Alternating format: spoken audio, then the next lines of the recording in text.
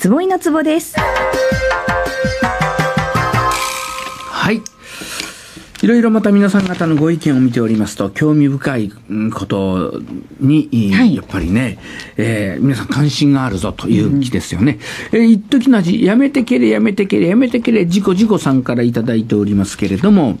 うん、古谷国家公安委員長は4日、閣議後、記者、えーの会見で、えーとんでもないことを言いました。えー歩行者があ出てくる危険性がない場所で、えー制限速度20キロ超過を取り締まるのは疑問ですというようなね、はいえーことについてまた皆さん方、いろいろいただいております。万作さんからもいただきまして、そして、生乳になる生乳飲み放題さんからもいただいておりました。で、まこちゃんから、まあ、先ほどの話のちょっと繰り返しになりますが、この、えー古谷さんがですね、国会委員長が警察のスピード違反の取り締まりの仕方に対して歩行者が出てくる危険性のない直線道路で制限速度20キロオーバーをしたことで取り締まりの対象となるのは疑問だと。えーまあ、違反した側も納得できる必要がある。警察の取り締まりのための取り締まりになっている傾向があり、警察の信頼という視点からもちょっと疑問符がつくと、疑問と苦言を発言したということですね。やっとこれ警察の組織のトップの中にもまともで常識のある人が出てきたのと、正直今頃まだこんなことを言ってるのって感じがします。昔から交通、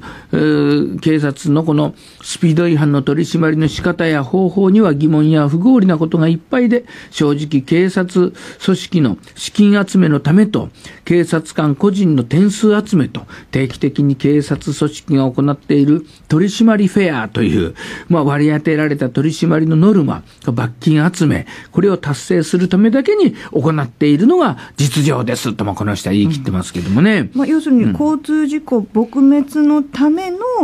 行為ではなくなってきているのではないかっていう部分ですよね。うん。ノルマもあるんで、この地域は罰金まだ今月少ないぞと、あんなわかりました、今からちょっとやります。というと、ん。いうようなことがまああるのではないかと、まあ、この人は言ってますよね。この方はだから、その古谷さんの発言がその通りだなとおっしゃっている。えー特に近年、覆面パトカーや白バイによるスピード取り締まりは疑問がいっぱいで、絶対に、うん覆面パトカーには見えない高級スポーツカーのソアラとかスカイラインを覆面パトカーにしたり、えー最新のものでは高級車のクラウンロイヤルとか、えーマーク X の最高級グレードを覆面パトカーに導入したり、大阪ではなんと、ステーションワゴンのステージアやレガシー GT を覆面パトカーにして、ダボハゼ式のスピード違反取り締まりをしております。ここまでパトカーであることを、まあ、隠蔽して、えーこのね、スピード違反の取り締まりをする必要があるるのか、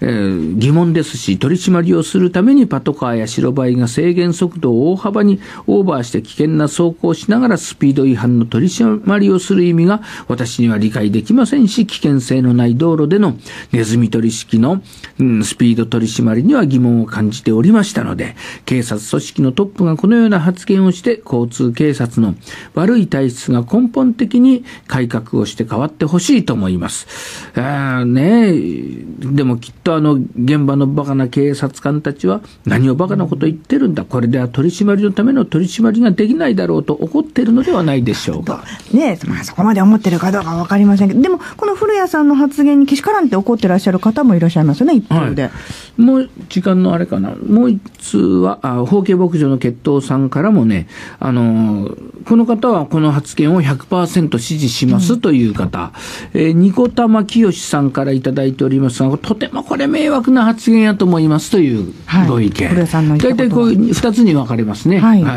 あのような発言をされると、ちゃんと法律を守って規則、えー制限速度でできるだけ安全走行しようと思っている人の肩身がますます狭くなります。50キロ制限の道は50キロまでしか出してはいけませんし、70キロ出てしまいますよねって発言は信じられません。おかしいです。じゃなくても普段、速度、えー制限速度で走行してると、後ろからパッシングされたり、クラクションを鳴らされたり、怒鳴られたりするのにと。まあ、こういうことをよく経験しますよ、僕らもね。いや、これ、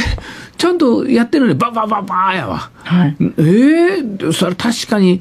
50キロのところ50キロで、新規臭いかもわからんけど、50キロは50キロでなんであかんねや、いいな、時に、ね。流れに沿ってってまあ言いますけど、全員が50キロ守ってれば流れも50キロになるはずなんですけれども。はい、いや、これね、うん、運転免許取り立ての頃は、40キロ走るだけでめちゃめちゃ怖かったことがありますもんね。うん。はい、だから40キロの道をとろとろ走るんですが、なんで40キロで走っとんじゃいって後ろから鳴らされたりしたこともありましたですがね。はい、まあそういう、だから、あの、これ非常にね、迷惑な発言ですよ。法律を守っている人が嫌がらせを受けて肩身の狭い思いをする交通社会の現状を分かっていないんでしょうかね、と。まあ大多数の人は歓迎しているとは思うんですけどもという、はい、こういうご意見2つありますが、はい、皆さん方はどちらでございましょう？